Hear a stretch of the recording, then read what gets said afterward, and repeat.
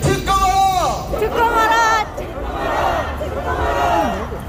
네, 윤석열 정부에서 3대 개혁이랍시고 추진하고 있는 것이 있습니다.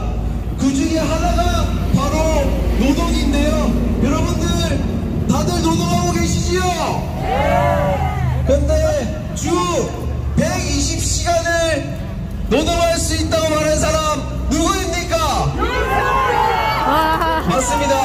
후보 시절 윤석열이 주 120시간까지 노동할 수 있다고 얘기를 합니다.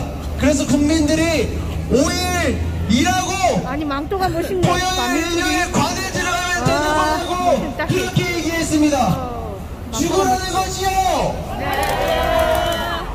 최근 윤석열 정부가 주 노동 시간을 최대 69시간까지 늘리는 방안을 내놓았다고 합니다. 졸았나 봐. 하지만 정부 여당 반응이 더 강한입니다. 노동 유연화 정책을 2030 청년들 같은 경우도 다들 좋아한다고 합니다. MZ 세대들이 원하는 거라고 합니다. 여러분 동의하십니까?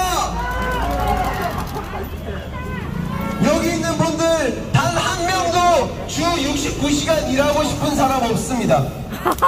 고용노동부 설문조사에서도 청년들이 희망하는 노동시간은 주당 42시간이었습니다. 윤석열은 기업이 일이 많을 때 사람을 기계처럼 돌릴 수 있도록 만들어준 거 아닙니까? 정부가 개편안을 얘기하며 가장 많이 말했던 단어가 있습니다. 바로 글로벌 스탠 다드라고 합니다. 참 영어 좋아하는데요. OECD 국가 중 가장 많이 근무하는 나라 어디입니까? 대한민국! 이미 OECD 국가 평균보다 한 해 약 39일이나 더 일하고 있다고 합니다. 와. 죽음의 노동을 강요하고 있는 거 아닙니까? 국민들을 죽음의 일터로 몰아넣는 윤석열 가만 놔두면 우리가 죽겠지요. 어떻게 해야 되겠습니까? 퇴진시켜야 되겠지요. 외쳐보겠습니다. 주 69시간 장기 노동 윤석열은 퇴진하라. 노동자 봐주기는 노동계약 폐기하라. 노동자의 적 윤석열은 퇴진하라. 네,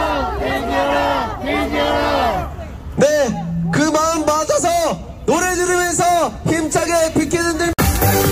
부자 자빠졌네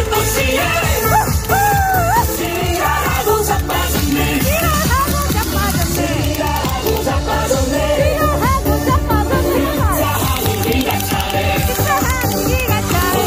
자빠졌네 예뻤지에. 자빠졌네. 것처럼 기고만장 온 나라